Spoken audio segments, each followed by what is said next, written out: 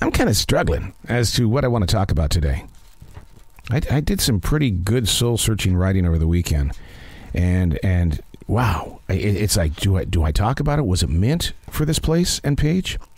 I mean, on on, on Sunday, uh, I actually wrote down a quote, and the quote was, "You don't need a Bluetooth hookup to reach the sights and sounds of God." It's it's like okay, why? I don't understand. You don't need a Bluetooth hookup in order to reach the sights and sounds of God. We're, we're all amazed by technology, but only when technology is working, right? I first heard about the Bluetooth somewhere around 2001 or 2002. Michael Mack, he showed us his earpiece and he says, Man, this is going to change the future. Bluetooth is the only way to go. My soundbar for the flat screen doesn't want to play nice. I, I, I don't get it. Most people would race out to buy a new one. Well, it's taking up too much space and time in my head. And it's like, you know what? I, I need to have a Bluetooth hookup right now. And so all of a sudden, I, I, I put on the page, you don't need a Bluetooth hookup to reach the sights and sounds of God.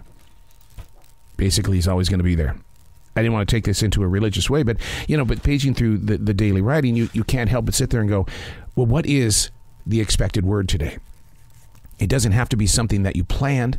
Because when you live in the presence of now, stream thinking and stream living is one of those things where you act upon it in this moment of now. And that's what this is all about. Hey, it's Arroe. It is the Daily Mess, a chronological walk through an everyday world. I write about realism. I write about what is happening in the presence of now, and you learn to study it because all of these messages are around us. It's just that we just don't want to deal with it.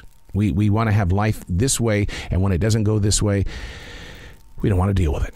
We'll, we'll, just go completely in a different direction. We'll buy a brand new car. Why? Well, because it makes me feel good for the moment. This is the Daily Mess. I couldn't believe what fell from my thoughts last evening. I openly admitted to a coworker how extremely painful it is to get older.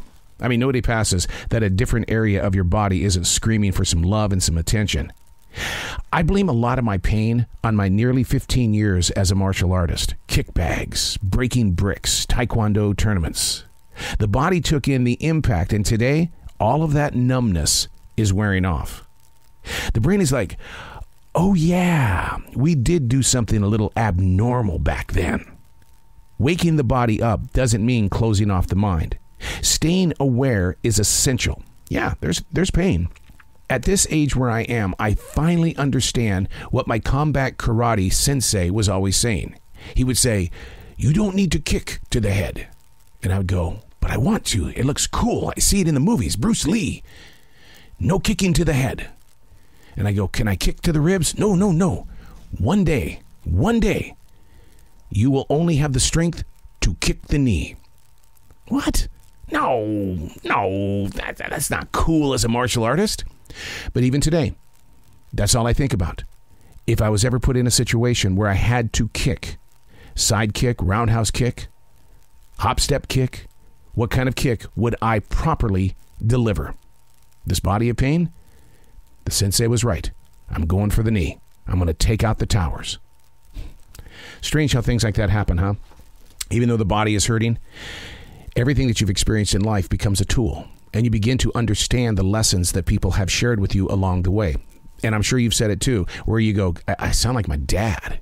My dad said this when I was a kid and I hated him for it, but now I say it and it's like, oh man, seems like it's the best answer.